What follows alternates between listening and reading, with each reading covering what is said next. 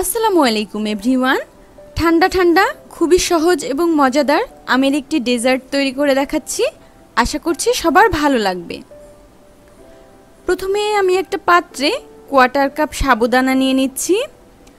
এখন এর মধ্যে নর্মাল তাপমাত্রার বেশ কিছুটা পানি দিয়ে এই সাবুদানাগুলোকে ভিজিয়ে একটা সাইডে রেখে দেব এক ঘণ্টার জন্য। এক ঘণ্টা পরে সাবুদানাগুলো দেখতেই পাচ্ছেন ফুলে ডাবল হয়ে গিয়েছে। আর এগুলো কিন্তু অনেকটাও নরমও হয়ে গিয়েছে। এখন চুলায় একটা প্যান বসিয়ে দিয়ে এর মধ্যে দুই কাপ লিকুইড দুধ নিয়ে নিচ্ছি। আর এটা হচ্ছে কাঁচা দুধ। এখন এই দুধটাকে অনবরত নেড়ে ফুটিয়ে নিব। দুধটা যখন ফুটে উঠবে, ওই পর্যায়ে এর মধ্যে সে ভিজিয়ে রাখা সাবুদানাগুলো দিয়ে দিচ্ছি। সাবুদানার ভেতরে অনেকটাই পানি ছিল, তাই আমি পানিটা সেকে নিয়ে তারপরে ব্যবহার করছি। সাবুদানাগুলোকে দুধের সাথে মিশিয়ে নিয়ে চুলায় মিডিয়াম আঁচে জাল করব। সাবুদানাগুলো সম্পূর্ণ সিদ্ধ হয়ে যাওয়া পর্যন্ত।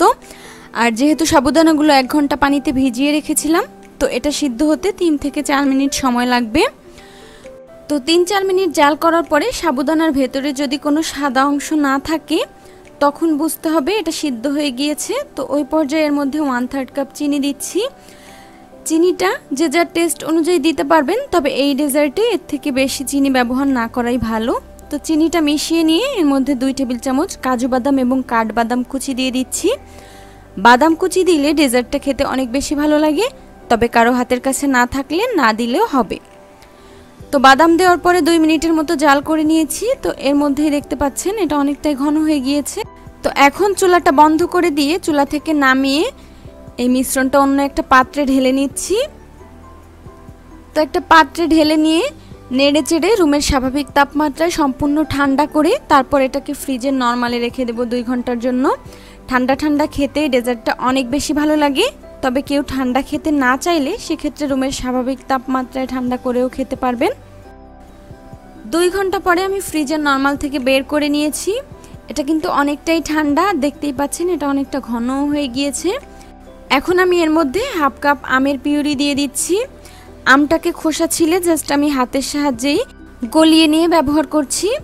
তো আমের পিউরিটা ভালো করে মেশানো হয়ে গেলে এখন এর মধ্যে হাফ কাপ টুকরো করে কেটে নেওয়া আম দিয়ে দিচ্ছি। আমের পিউরি এবং আমের এই টুকরোগুলো এগুলোকে আমি ফ্রিজে রেখে দিয়েছিলাম, তো এগুলো অনেকটাই ঠান্ডা। তো ঠান্ডা ঠান্ডা খেতে কিন্তু এই ডেজার্টটা অনেক বেশি ভালো লাগে। তো এরই মাঝে ডেজার্টটা কিন্তু রেডি হয়ে গিয়েছে। তো এখন এই ডেজার্টটা সার্ভ করে নিচ্ছি। সার্ভিং গ্লাসে ঢেলে নিয়ে ওপরে কিছু টুকরো করা আম এবং চেরি দিয়ে সাজিয়ে নিচ্ছি। আমি আশা করছি আমার আজকের এই সহজ এবং হেলদি ডেজার্টটি সবার ভালো লেগেছে। ভালো লাগলে ভিডিওতে একটা লাইক দিবেন এবং প্লিজ আমার চ্যানেলটি সাবস্ক্রাইব করে পাশে থাকবেন। সবাই অনেক বেশি ভালো থাকবেন। আল্লাহ হাফেজ।